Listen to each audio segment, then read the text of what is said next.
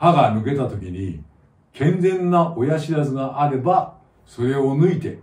移植することができるんです。今回は歯の移植について解説させていただきます。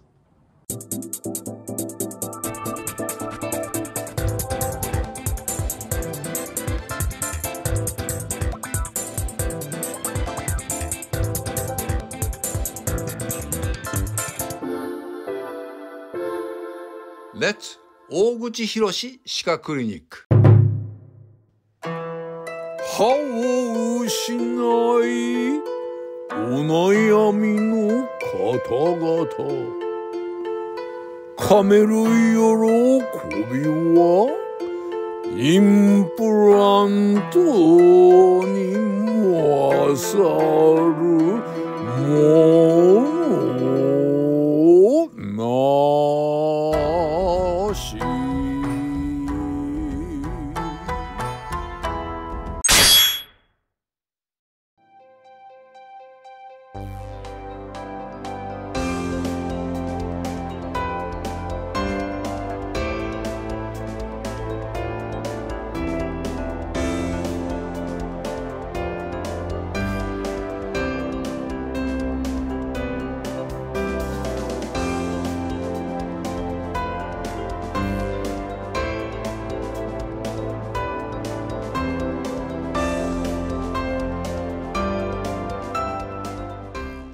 皆さんおはようございます。こんにちは。こんばんは。このチャンネルは皆様にとって有益な歯科に関する情報をお伝えすることを目的に制作しています。番組制作の参考や励みになりますのでチャンネル登録と高評価通知ボタンの設定をよろしくお願いいたします。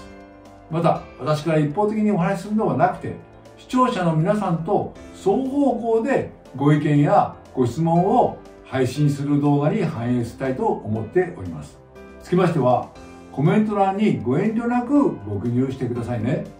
さて前回に引き続き一番奥の歯が抜けた時の治療法についてのご相談をいただいた方とのやり取りから解説させていただきますね。この方は最終的にインプラント治療を選ばれたのですがインプラントをしない場合のデメリットを説明させていただきますね。インプラントデメリットについては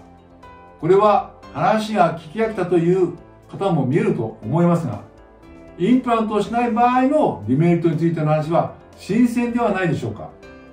ご興味のある方は概要欄に動画のリンク先を記載しておきますのでジャンプしてご視聴くださいね。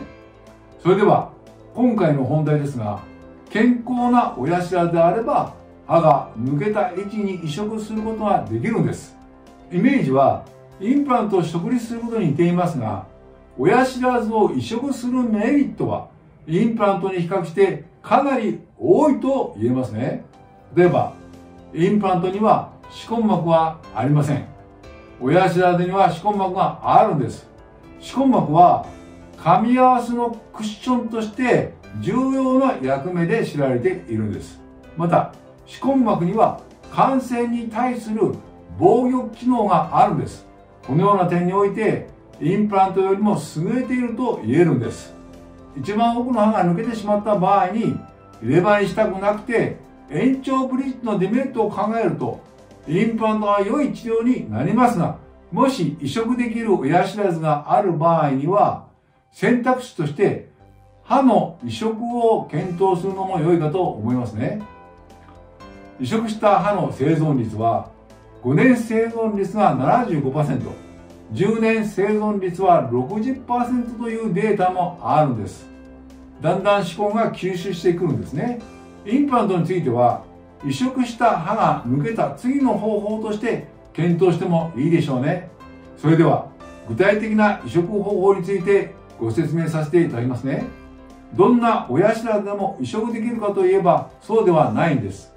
横方向に倒れていたりすると脱ぐためにはですよ歯の原型をとどめることは難しいので移植はできないんです。骨と癒着しているような場合も同様です。どちらかといえば通常の歯のようにしっかりと生えていることが必要なんです。まずは歯を抜きますが歯根膜がついていることが重要なので丁寧に丁寧に抜歯します。その後移植する部分の骨に削って穴を開けて抜いた親知らずを植えてそれで糸で固定するんです。インプラントの場合はネジ山があるので骨にネジ止めされていますので糸による固定は当然不要なんですが歯の移植の場合は骨につくまでに糸で固定するんです。3週間から1ヶ月もすれば固定しますのでそれから歯の神経を取る治療を行うんです。いわゆる根幹治療というのですね。その後移植した親知らずの周囲に新たな骨ができてからかぶせ物を装着するんです。歯の移植は全ての方にできるわけではないんです。条件さえ整えば非常に優れた方法だと思っていますね。歯の移植は人工物のインプラントが天然の歯に変わるだけなのでインプラント医であれば行うことができると思うんです。ぜひ主治医に相談してみてくださいね。また抜けた歯の後ろに親知らずがある場合には矯正で動かす方法もあるんです。ただし移植と同じですよ。全ての親知らずが矯正で動かせるわけではないんです。事前のレントゲン検査や CT 検査で診断できますので親知らずがある場合には検討してみるのも良いと思いますね。今回の話はここまでです。次回も歯科に関する有益な情報を解説させていただきますね。チャンネル登録がお済みない方は、チャンネル登録と高評価、通知ボタンの設定をよろしくお願いいたします。また、動画制作の励みになりますので、コメント欄の記入もお願いいたします。それでは、次回も木曜午前9時にお会いしましょうそして皆さんに安心してインプラント治療を受けていただくことと高度な技術を有したインプラント医を育成することを目的とした OIA 大口インプラントアソシエイツを運営しております。インプラント治療をお考えの方は OIA のホームページからお近くの歯科医院をお探しください。